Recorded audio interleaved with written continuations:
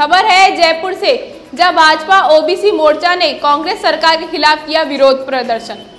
कांग्रेस की दमनकारी नीतियों, घोटालों एवं भ्रष्टाचार के खिलाफ प्रदेश अध्यक्ष डॉक्टर सतीश पूनिया, जिला अध्यक्ष जितेंद्र शर्मा, ओबीसी मोर्चा के प्रदेश अध्यक्ष ओम प्रकाश बडाना के नेतृत्व में सैकड़ों कार्यकर्ताओं ने भाजपा प्रदेश कार्यालय में सिविल लाइन्स फाटक तक मार्च कर धरना प्रदर्शन किया। इस अवसर पर भाजपा ओबीसी मोर्चा के जिला अध्यक्ष श्री गौरव यादव ने बताया कि जयपुर जिला देहात उत्तर के सभी विधानसभाओं से अच्छी संख्या में कार्यकर्ताओं ने इस प्रदर्शन में भाग लिया है।